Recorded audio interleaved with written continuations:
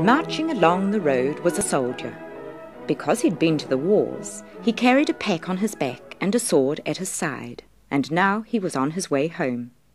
On the road, he met an ugly old witch. Good evening, soldier, she said. What a great pack and fine sword you have there. You're certainly a real soldier, and for that you shall have all the money you want. I say, thank you, old witch, said the soldier. The witch then told him to look at the big tree by the side of the road. It was hollow, and if he climbed to the top, he'd see a hole down which he could slide right to the bottom of the trunk. The witch was to tie a rope round his waist so she could pull him up again. Pray tell me what I am to do at the bottom of the tree, asked the soldier. Get the money, replied the witch. Listen to me. And she went on to say how he'd find a passageway down there, all lit with hundreds of lamps. There would be three doors, and behind the first door he'd see, sitting in the middle of the room, a great treasure chest with a dog on top. This dog would have eyes as big as teacups, but not to worry, as he'd take her blue check apron with him and sit the dog on this. He'd find copper coins in the chest, and the soldier could take as many as he liked.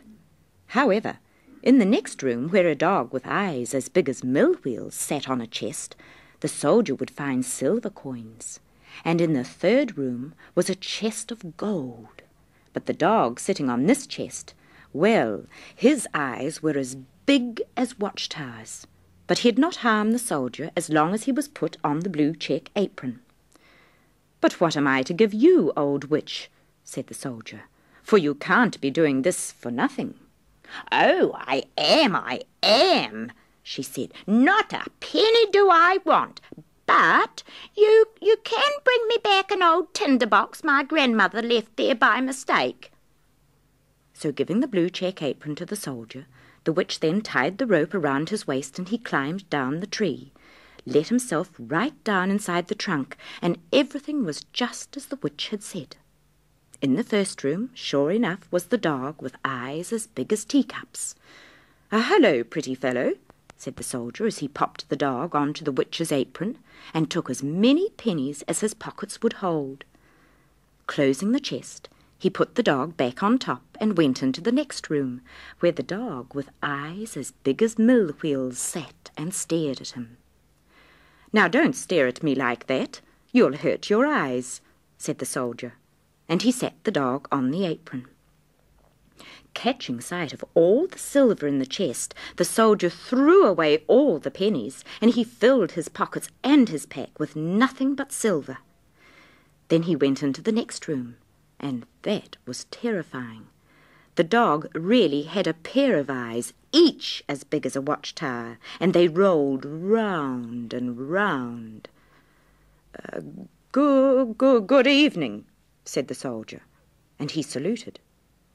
He'd never seen such a dog before, and as he stood staring, he thought, well, the sooner it's done, the better. So he removed the dog from the chest. What a sight of gold was there, and so he threw away all the silver and took gold instead. He even filled his boots, and he could hardly move. After putting the dog back on the chest and slamming the door, the soldier shouted up through the tree that he was ready. Have you got the tinder box? called the witch. Oh, I'd clean forgotten, said the soldier, and he went to find it.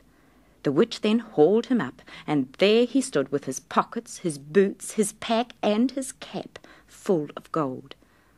When the soldier asked the witch what she was going to do with the tinder box, he was told it was none of his business.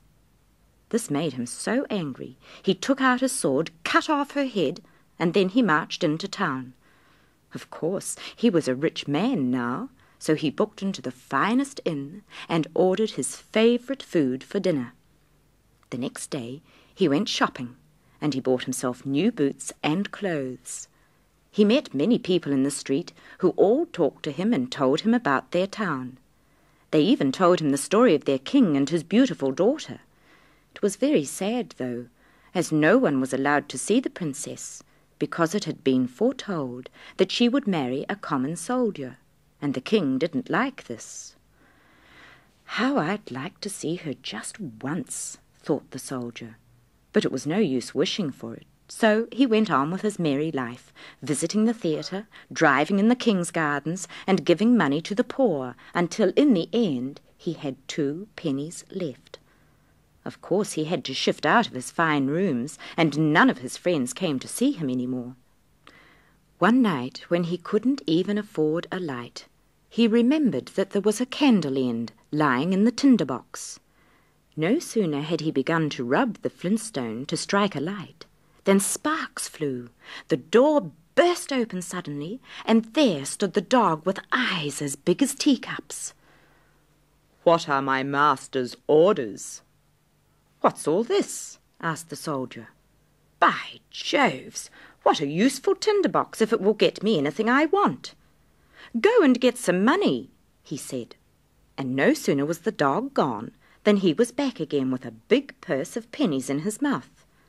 What a wonderful tinder box it was! If he struck it once, the dog with copper coins came.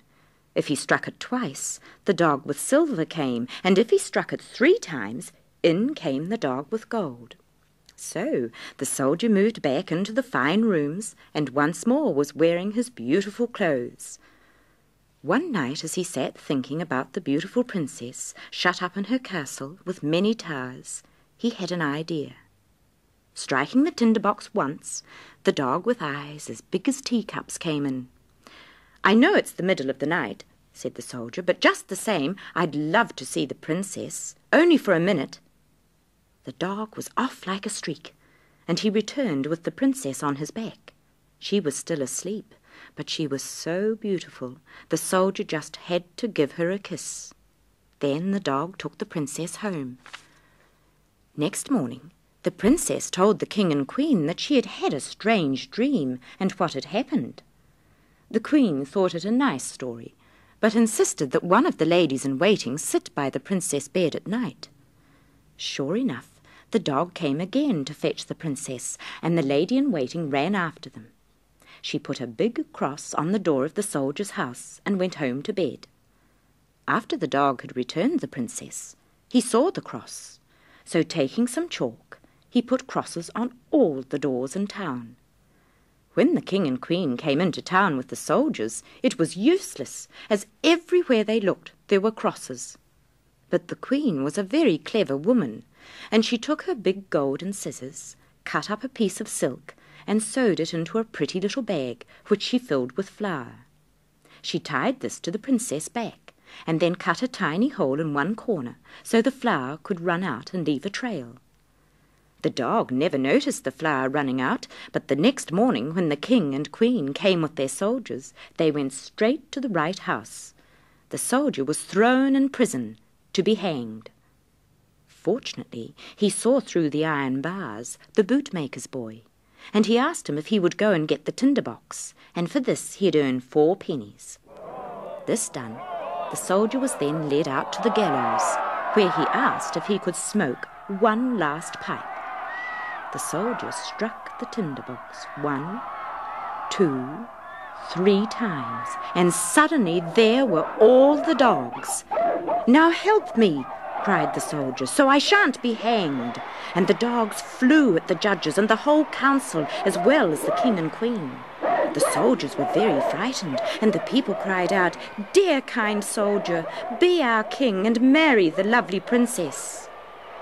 So they put the soldier into the king's coach, and the dogs ran ahead of it, while all the people cheered and whistled. The princess came out of the castle and became queen. The wedding lasted eight days, and the dogs sat at the table staring, with their great eyes going round and round.